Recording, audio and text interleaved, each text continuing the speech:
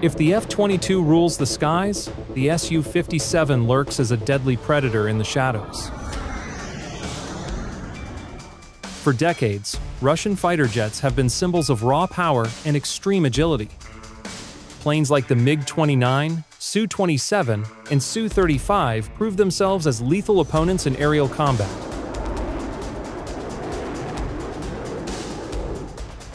But everything changed the moment the F-22 Raptor entered the battlefield. For the first time in history, Russia faced a fighter it simply couldn't match.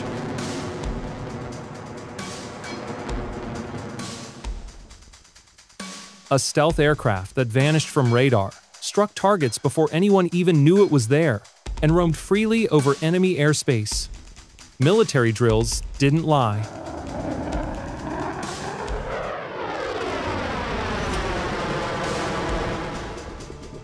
In combat simulations, a single F-22 could take on five fourth-generation Russian jets at once and shoot them all down without giving them a chance to respond. It was an invisible predator, an unstoppable aerial assassin. When the F-22 Raptor entered service in 2005, it ushered in a new era of air warfare. This jet wasn't just lethal in dogfights, it could strike targets before anyone even knew it was there. With extreme stealth, Mach 2 supercruise, and cutting-edge weaponry, the Raptor rendered all fourth-generation fighters obsolete in just a few years. For Russia, this was a direct blow to its air defense strategy. The arms race was no longer just about superiority, it became a fight for survival in the skies. During the Cold War, Soviet and American fighters were evenly matched. The MiG-29 could take on an F-16. The Su-27 could challenge an F-15. But with the arrival of the F-22, Russia had nothing capable of countering it. The flankers, no matter how agile, were far too visible on radar. But the Raptor wasn't the only problem. With the F-35 Lightning II, the United States now had a stealthy, multi-role fighter packed with advanced sensors, real-time data networks, and capabilities Russia hadn't even imagined. While Russia still relied on its upgraded Su-27 seconds and MiG-29 seconds, the US already had two fifth-generation jets in full-scale production, and that spelled only one thing. In a real combat scenario, Russian pilots would be taken out before they even knew what hit them. Russia saw the gap widening and understood it had to respond. This is how the need for a new fighter was born. It wasn't a luxury or a whim, it was a matter of life and death for the Russian Air Force. If they couldn't match the power of the F-22 and F-35, they would be sidelined in the skies forever. The Kremlin gave the order, develop a stealth jet capable of outmaneuvering any Raptor armed with missiles that could strike beyond visual range, and equipped with electronic warfare systems that could turn any F-35 into an easy target. Thus came the PAK FA project. Thus was born Russia's Ghost Fighter, the Su-57 Felon. But the question remained, could Russia get it ready in time? This jet wasn't designed to be just another fighter, it was meant to challenge total dominance of the skies. And it wasn't easy. Unlike the United States, which could produce hundreds of Raptors with its multi-billion dollar defense budget, Russia had to build its stealth fighter with severely limited resources. The economic crisis following the collapse of the Soviet Union had devastated Russia's military industry. Producing advanced fighters became a battle against financial collapse. Amid all this, the Kremlin placed its bet on Sukhoi, the only company with enough experience to challenge the F-22, yet the PAK FA project faced constant delays. By 2010, while the United States already had over 180 F-22 seconds in operation, Russia had barely managed to get its first prototype airborne. Every step forward seemed to bring a new economic setback, international sanctions, or technical problem that forced them to rethink production entirely. In 2014, Russia annexed Crimea, and the West responded with devastating sanctions. Access to critical technology was blocked, pushing the fighter project to the brink of cancellation. Russian engineers retooled production using local materials and components. They adopted innovative radar systems and focused on extreme maneuverability in close combat, a level of agility no other stealth fighter in the world possessed. After years of relentless development, the Su-57 finally entered service in 2020. It became Russia's first fifth-generation fighter, a jet with a menacing silhouette, capable of outperforming any other fighter in agility, and equipped with stealth technology tailored to Russian needs. The Su-57 proved to be a formidable aircraft, but the greatest question remained unanswered. Could it truly take down an F-22 inches a dogfight? What would happen if they met in the skies? Who would come out alive? Unlike the F-22, which relies primarily on stealth, the Su-57 is a war machine built to be deadly in any scenario. It achieves this with three key elements that make it a lethal rival. Unmatched maneuverability, long-range lethal weaponry, and advanced electronic warfare systems. Maneuverability the Su-57 dances effortlessly through the sky. Its engines, equipped with three-dimensional thrust vectoring, allow it to perform maneuvers no Western fighter can replicate. In a dogfight, an F-22 could face something it has never encountered before, a stealth fighter that is not only fast but can twist, brake, and change direction with a level of agility that defies physics. While the F-22 loses energy during sharp turns, the Su-57 maintains complete control, executing impossible maneuvers at low speeds and in close quarters. That difference can mean the line between life and death. In close combat, the Su-57 could position itself behind a Raptor and take it down with a precise shot from its GSH-31 cannon. But the real terror of the Su-57 isn't just its agility, it's its weapons. Like the F-22, most of its armament is housed in internal compartments. This reduces its radar signature and allows it to strike without revealing its position.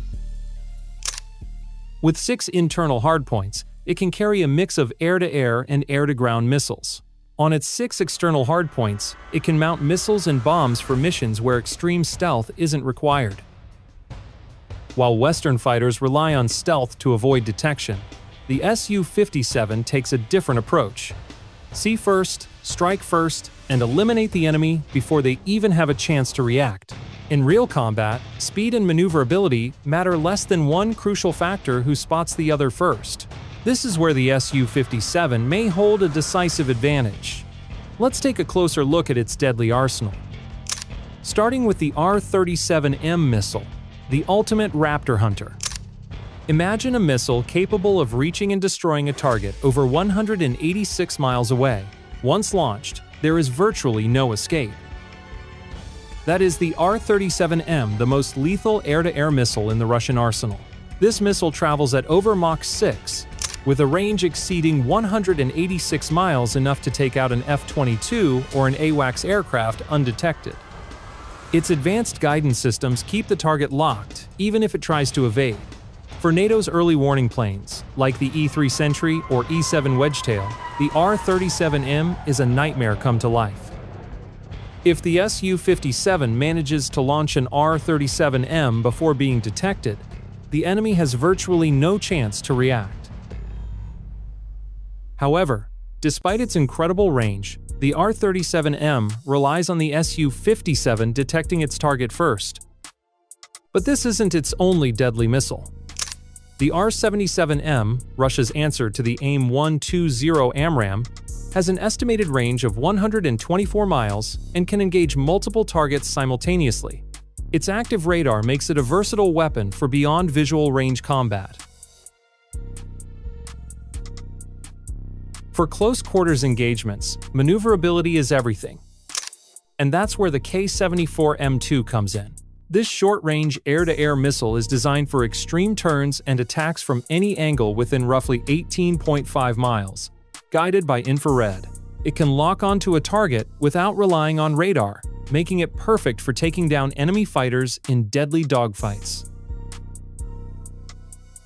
If the Su-57 closes in, the K-74M2 turns the battle into a death sentence for its adversary. But the Su-57 isn't just built to fight enemy fighters. It's also a precision strike platform against ground targets. The KH-38 is built for precision strikes.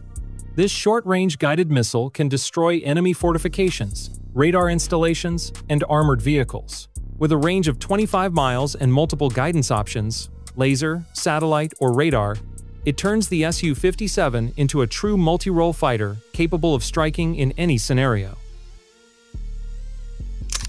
Then there's the KH-47M2 Kinzhal, NATO's nightmare. If there's one weapon in the Su-57 arsenal that makes the West tremble, it's this hypersonic missile. Not only is it insanely fast, but it's nearly impossible to intercept. With speeds exceeding Mach 10, a range of over 1,250 miles, and the ability to carry nuclear or conventional warheads, it can destroy entire bases or even cities in mere minutes. The Kinzhal isn't just a missile, it's a first-strike strategic weapon. A single Su-57 could launch it from Russian airspace and reach NATO targets before air defenses even have a chance to react. Systems like Aegis, Patriot, or S-400 were designed to intercept ballistic missiles. But hypersonic weapons like the Kinzhal are a completely different challenge. Its incredible speed and maneuverability make it virtually unstoppable. This means that even one Su-57 could potentially sink a U.S. aircraft carrier before the fleet has time to respond. And beyond long-range missiles, warfare often demands surgical strikes, precision hits, where a single impact can turn the tide of battle. To accomplish this, the Su-57 is armed with guided bombs, including the KAB-500 and KAB-1500. Built to destroy heavily fortified targets, the KAB-500 delivers 1,100 pounds of destructive power, guided by laser or satellite. The KAB-1500 packs 3,300 pounds of sheer destructive force, capable of piercing bunkers and reinforced structures. Whether it's an enemy command post, air defense site, or missile installation, these bombs carry out surgical strikes with extreme precision. When precision isn't an option, the Su-57 can deploy unguided or semi-guided bombs like the FAB-250, FAB-500, FAB-1500, and even FAB-3000, designed to saturate enemy zones with a hailstorm of explosives and shrapnel.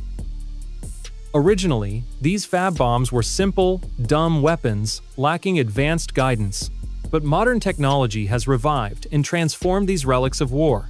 In the ongoing conflict in Ukraine, Russia has not only resurrected them, but also revolutionized their design, particularly the FAB 500, 1000, 500, and 3000 models. The introduction of Unified Modular Planning and Correction UMPK systems has turned what were once dumb bombs into sophisticated precision weapons, now equipped with GLONASS navigation and deployable fins. These upgrades have launched the Su-57 into the modern era, capable of turning an entire battlefield into a smoking crater within seconds. Finally, what makes the Su-57 a truly complete threat is its electronic warfare and stealth capabilities. It can render an enemy fighter virtually defenseless before it even knows what hit it. Its advanced electronic warfare systems can jam enemy radars, confuse missile guidance, and render Western aircraft incapable of attacking mid-flight. Imagine an F-35 inches combat, trying to lock onto a target, but something's wrong. Its radar stops responding, and it can't see anything. Systems display interference. Missiles fail. At that very moment, the Su-57 is already behind, ready for the final strike. Meanwhile, while the F-22 and F-35 are coated with advanced radar-absorbing materials, the Su-57 takes a different approach. Its fuselage uses angled surfaces and structural design to reduce radar signature, though its stealth isn't as extreme as its American counterparts. Some reports suggest the Su-57 has a larger radar cross-section than the F-22, meaning it could be detected earlier in combat. However, its true edge comes from its ability to neutralize detection with electronic warfare. Though it remains a calculated risk in environments flooded with advanced radar systems.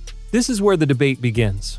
Su-57 designers claim its stealth technology is sufficient for the combat scenarios Russia faces. But in reality, its invisibility doesn't match the total stealth of the F-22 or F-35. Still, the Su-57 doesn't need to be completely undetectable. It just needs to see first and strike before its enemy can react. With its advanced radar and infrared sensors, it could track a Raptor without being noticed and launch an R-37M missile from over 186 miles away. The Su-57 doesn't have to be a ghost, it only needs to be hard enough to track to close in and hunt its target before the opponent can respond. Here's the reality check. The Su-57 is a deadly aircraft, but Russia has very few in active service. Meanwhile, the United States has produced 195 Farads, 22 seconds, and over 900 Farads, 35 seconds. Russia barely has a few dozen Su-57 seconds operational. In war, capability matters, but so does sheer numbers. No matter how skilled the Su-57 is, facing waves of Raptors and F-35 seconds with more support, more missiles, and extensive radar coverage is a daunting challenge.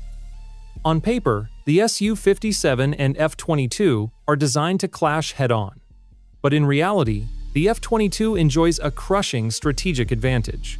While the US dominates the skies with a massive stealth fleet, Russia struggles to produce enough Su-57 seconds to make a real impact.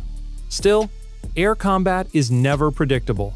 One maneuver, one missile, one clever tactic can change the outcome of a fight. Perhaps these Su-57 seconds don't need numbers. They just need the perfect opportunity to prove they can take down a Raptor. And now, you have the perfect chance to like this video and subscribe to the channel. See you next time.